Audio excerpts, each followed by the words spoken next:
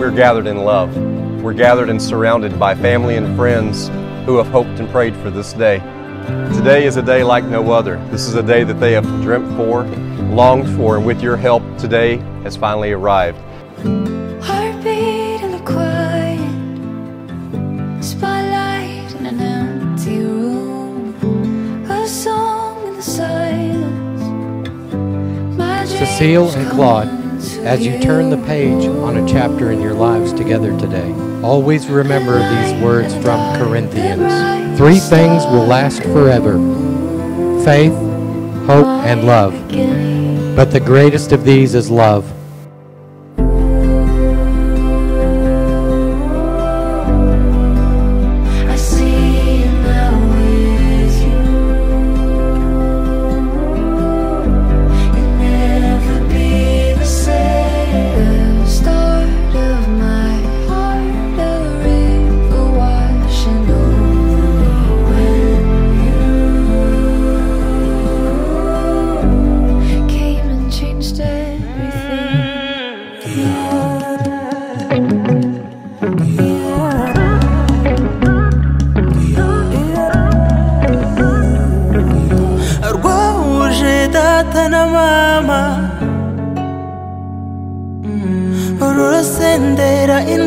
Ndaseruka urwo mbabwira nirwo rudutera kwanda urugwa neza kandi cyane rutemba ituze ntacyo warunganya ndabarahiye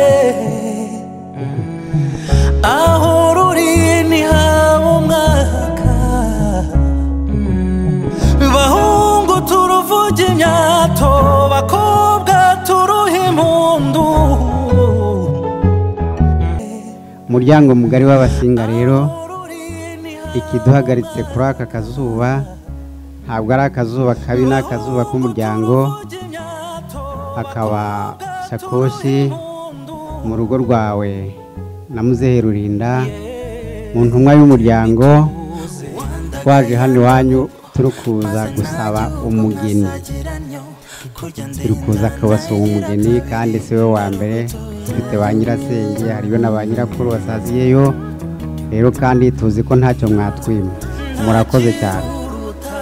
Cecile inyirasenge aho aho ari kugana ari kuza nsangayo nta kibazo.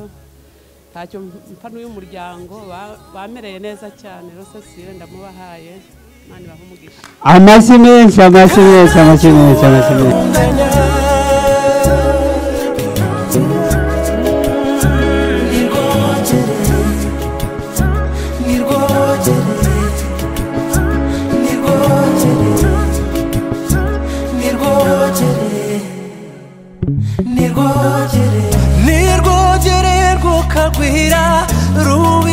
Rubiganza amarumbo rusentere rwizi yaba rufite n'umwambaro w'umurimbo n'umuringa ubereye ukuboko n'urunigi runigijwe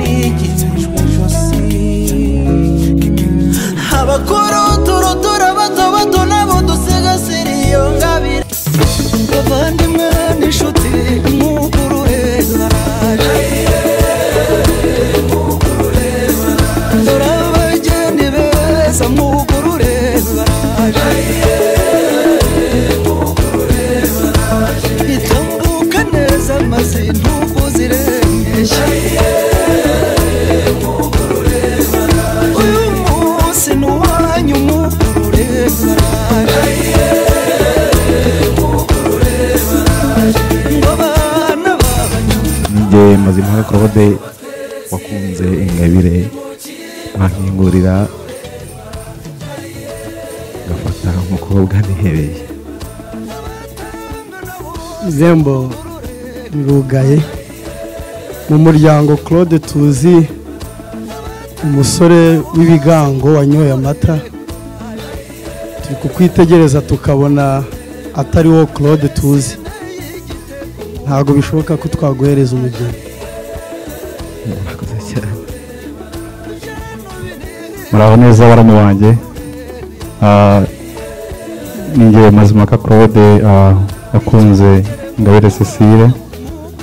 Ah, nkaba ndi kugira ngo nyaboneka mu myihangane y'umunyemerere ntiri intambwe. Muge mu gituza noneho mushobora gusuruka mumugire neza. Ndabona ari wowe nakugurira uzi wacu nta kibazo. Murakoze cyane.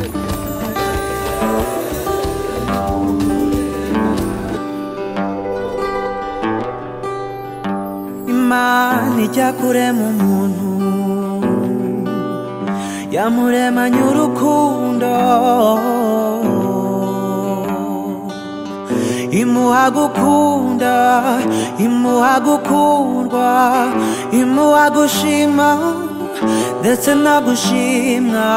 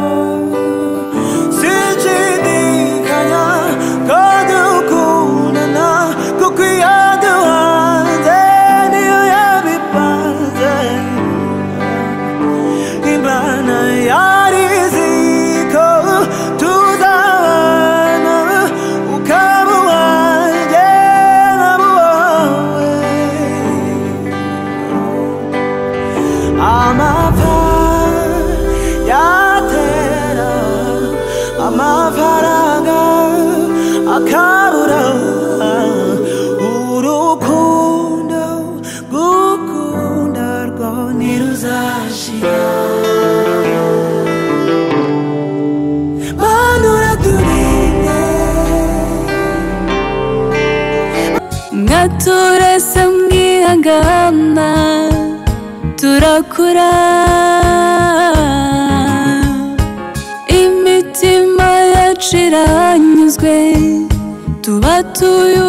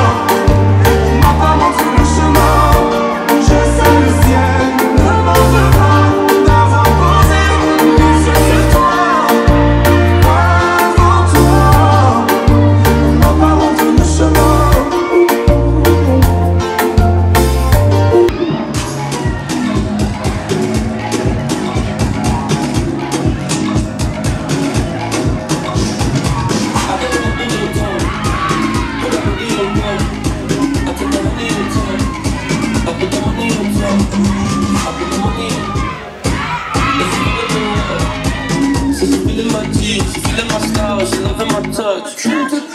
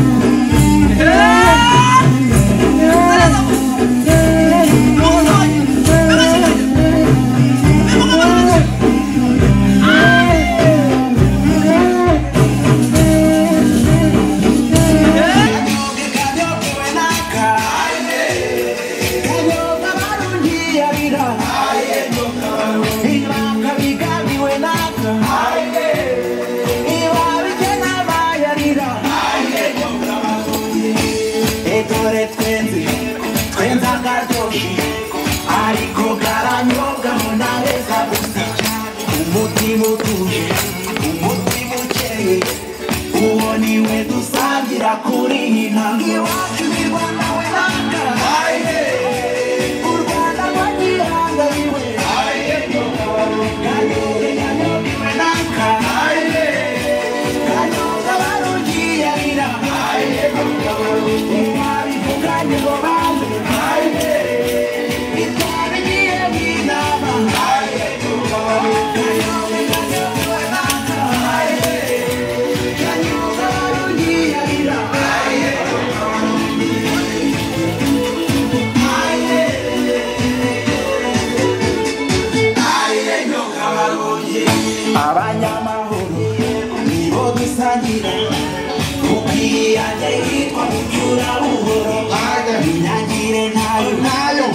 ni we mwese. Eh, eh. Abafitanye ibibazo muri weekend